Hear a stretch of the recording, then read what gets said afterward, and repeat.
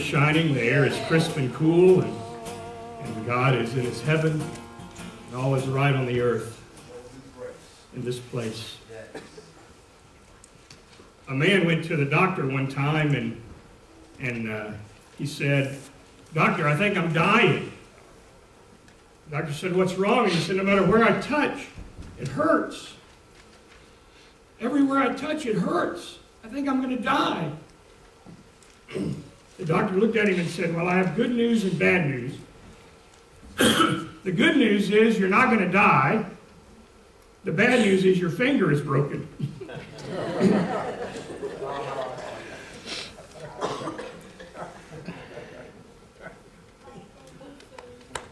Charles Dickens wrote, at this time of year we think of Christmas Carol, but he wrote another book. If you had to suffer through it in high school or college, it was called A Tale of Two Cities. It wasn't a very big book. But it starts out with a very famous line. It was the best of times. It was the worst of times. Some of you have read it, I see. that could have been said, those words, the best of times or the worst of times, could have been said about the time when Jesus was born. when Jesus was born, Judea, where he was born, was a state owned province of Rome. Rome, all the known world at that time was under Rome's authority and the heavy hand of the Roman boot was upon the neck of the people of Judea. Caesar Augustus was the emperor, but he had installed Herod as the king over this particular area of land.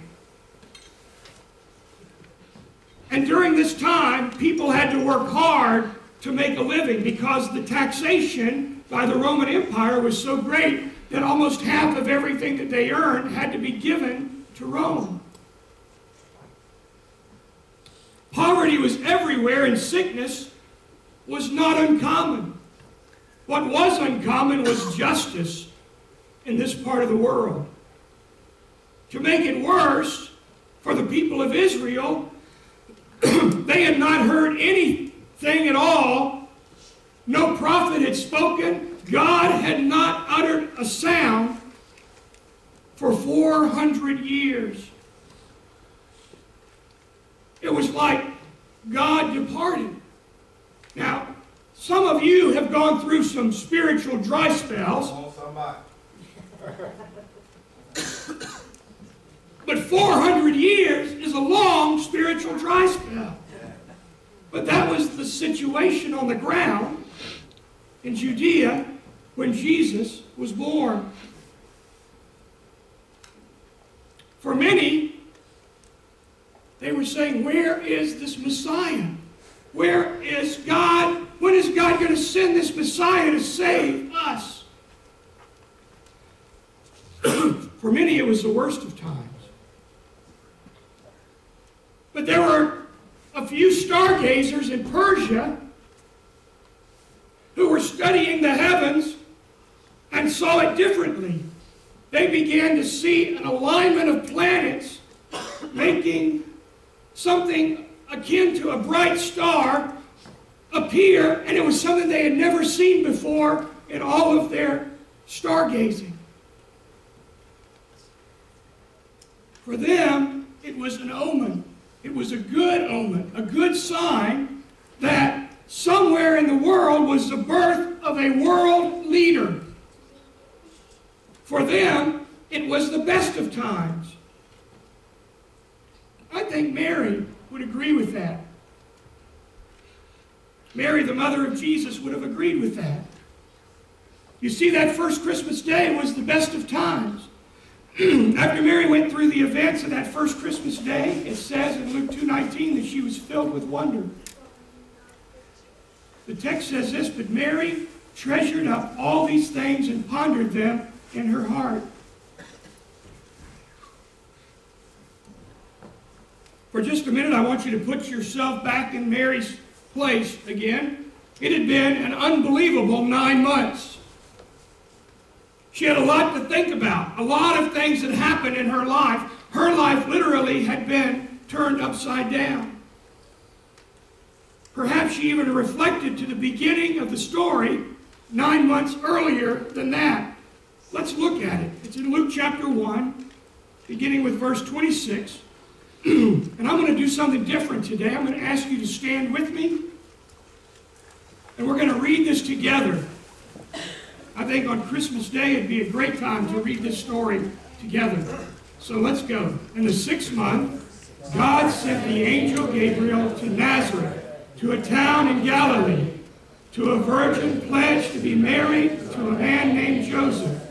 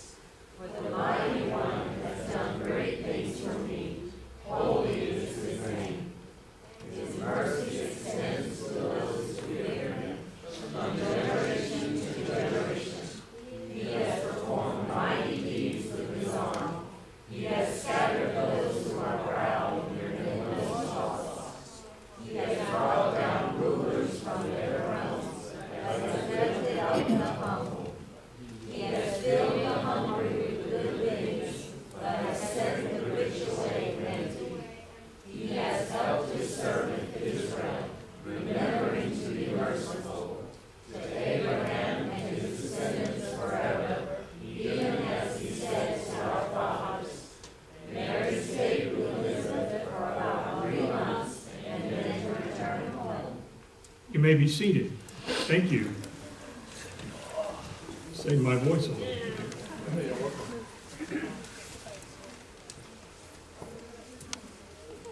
When Mary arrived at Elizabeth's house, Elizabeth was six months pregnant. Mary stayed for three months. no doubt she stayed until John the Baptist was born, and then she returned to her home again to continue her pregnancy until the time that she would be delivered.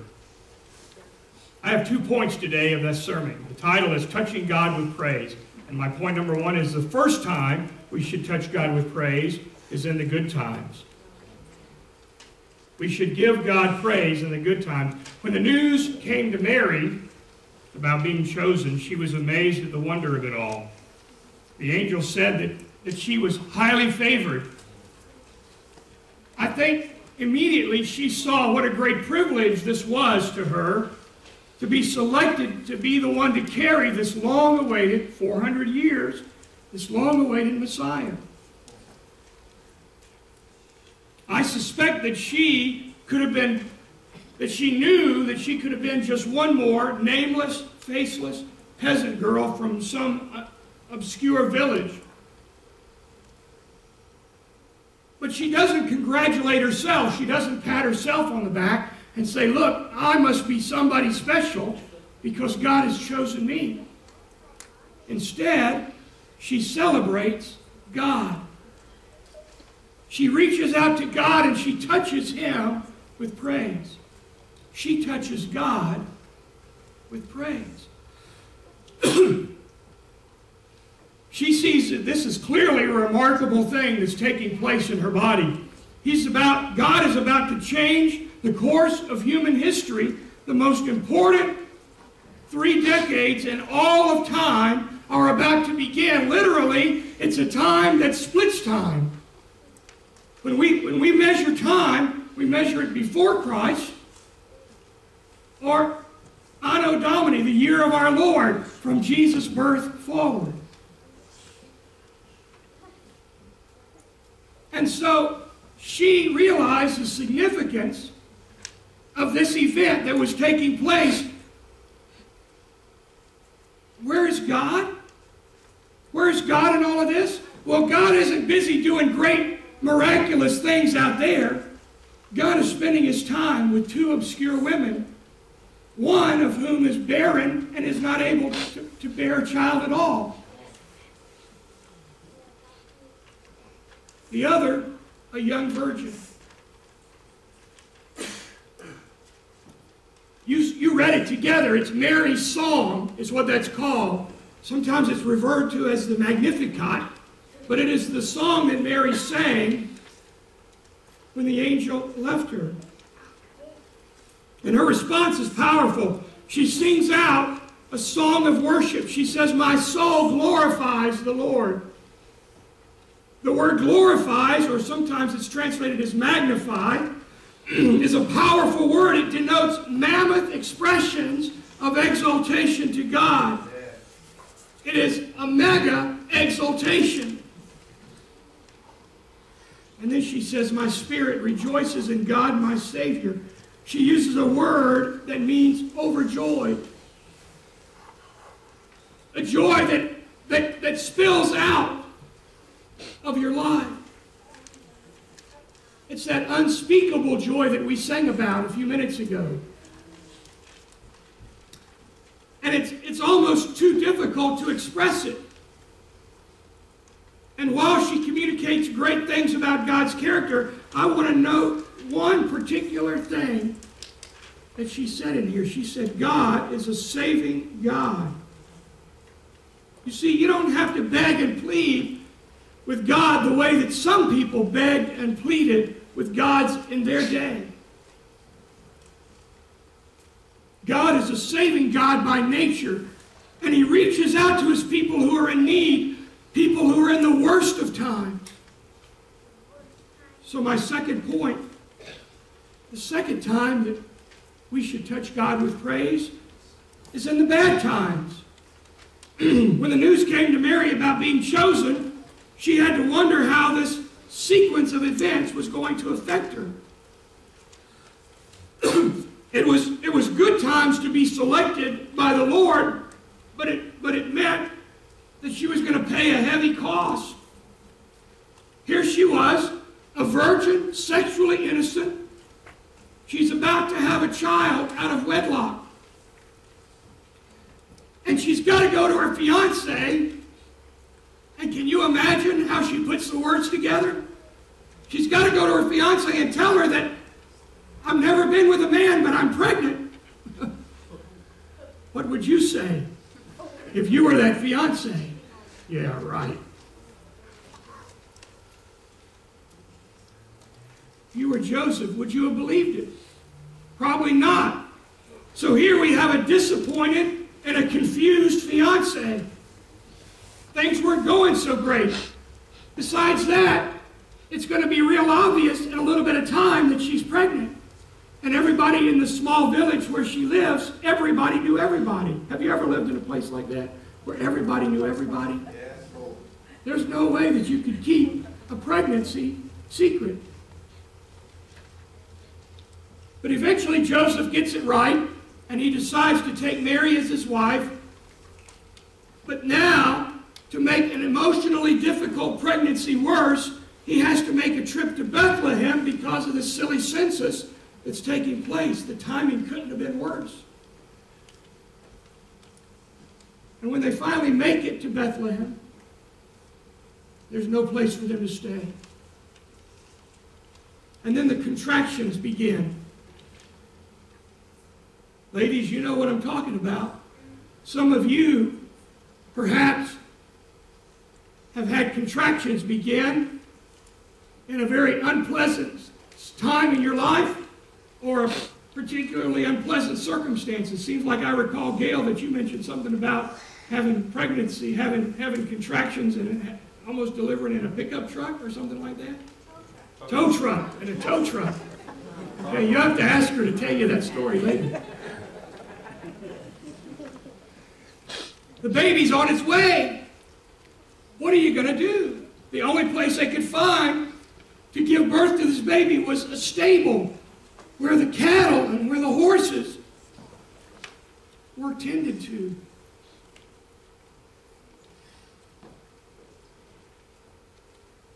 Now, if you were in this situation, what kind of attitude would you have? Mary touches God with her praise. You see, Mary is a true worshiper of God. How do you know when someone's a true worshiper of God? It's because if, if you're a true worshiper of God, it means that you go through life, regardless of the circumstances, with continuous joy and complete contentment, regardless of the circumstances. It says, Mary treasured up all these things and pondered them in her heart. And there was a lot to ponder. There was plenty to be content about. You see, she had the satisfaction of knowing that her willingness to be available, to be used by God, and to be obedient were worthwhile, even if it meant going through some hard times. So,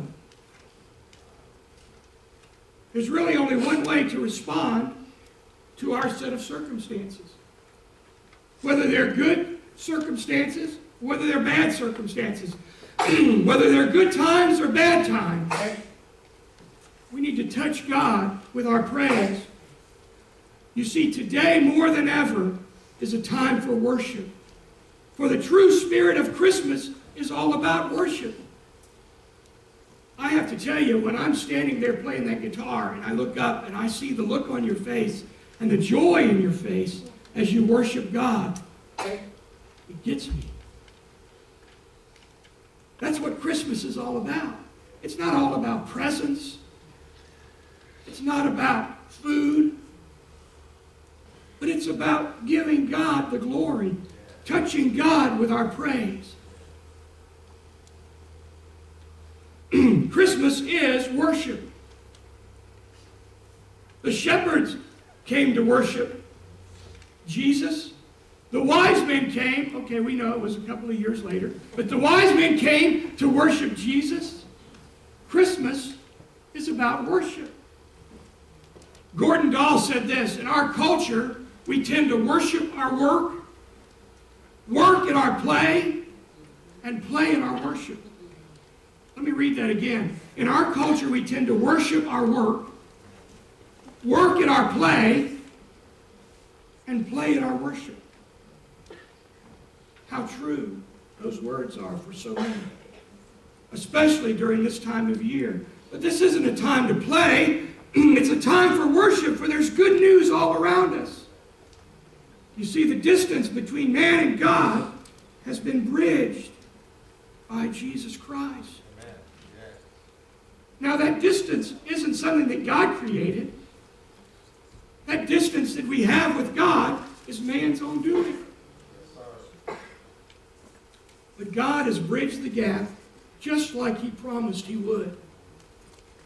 And that, my brothers and sisters, is worthy of worship. We have the opportunity to celebrate because God is a promise keeper.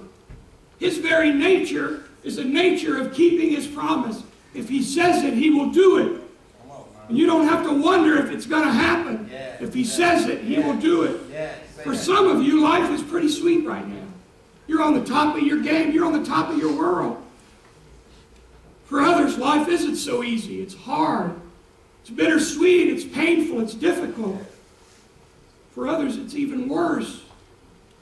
As bad as it is for us, you don't have to travel very far in this world to find folks who have less than you.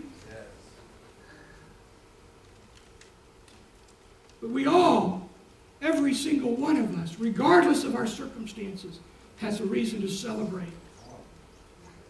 The reason comes from the angel Gabriel. It's back in, in verse 37. You read it. For nothing is impossible with God. Verse 37. For nothing is impossible with God. Do you believe that today? Amen. Do you believe that today? Amen. If you do, then we have a reason to celebrate. Because whatever you face today, nothing is impossible with God. Remember that Mary, through the good times and the bad times, continued to praise God. And with fingers of faith, she reached down and touched the face of God, even as she held this tiny baby in her arms.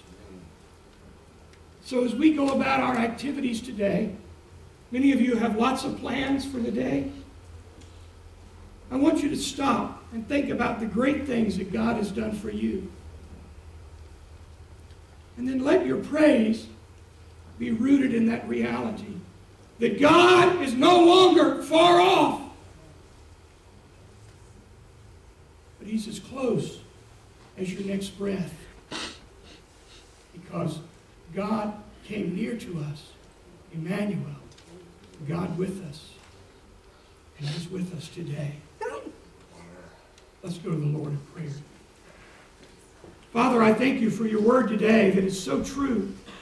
And on this beautiful Christmas morning, we give you praise because no matter what